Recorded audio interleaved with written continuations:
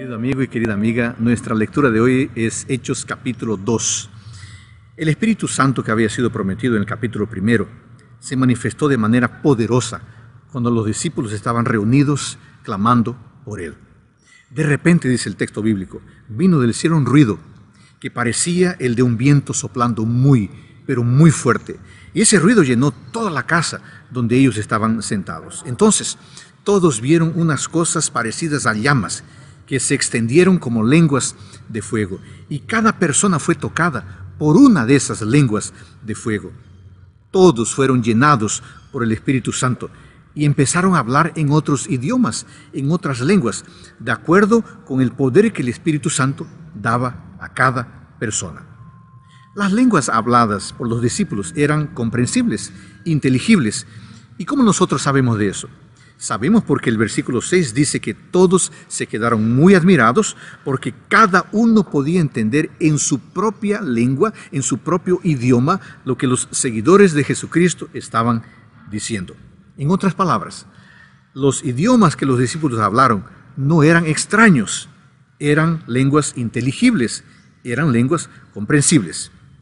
Dios permitió este milagro, amigos, porque de esta forma los discípulos podrían iniciar de manera poderosa y marcante la predicación del Evangelio, alcanzando a las diversas naciones representadas aquí en el capítulo 2. A continuación, Pedro hizo un poderoso sermón, enfatizando la persona de Jesucristo. El sermón fue tan poderoso, pero tan poderoso, que la gente se quedó, eh, se afligió, y las personas preguntaron, ¿qué debemos hacer? Pedro les dijo, arrepentíos y cada uno de vosotros sea bautizado en el nombre de Jesucristo, para que sean perdonados sus pecados y ustedes reciban de Dios el Espíritu Santo.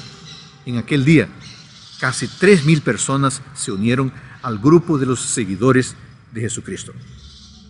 En los versículos 43 a 47 tenemos cuatro elementos esenciales de la iglesia apostólica. Podemos decir que son cuatro características de la iglesia relevante doctrina, comunión, adoración y evangelismo.